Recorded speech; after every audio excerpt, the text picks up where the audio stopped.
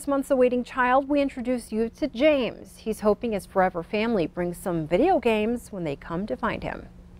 This 11 year old knows what he's about. He loves to play games from Mario Kart to more complicated ones and even studies the work of other gaming experts on YouTube. Well, my favorite genre is like games like platformers or like platformer third person shooters like this. He also loves to draw and plays air hockey and likes to hang out outside. He says a relationship with a future father is really important to him, as well as sharing some particular interests. They like gaming, definitely.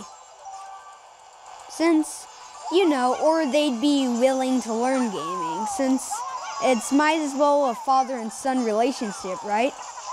Oh, That's what I see in a family, father and son relationship, and I ain't giving up who I am. you just got first place? Yeah. Nice. He's hoping to come in first place with a great family like he's accustomed to with his games. Yep. and without further ado, the end. In Missoula, Augusta McDonald, MTN News. Stick with us here on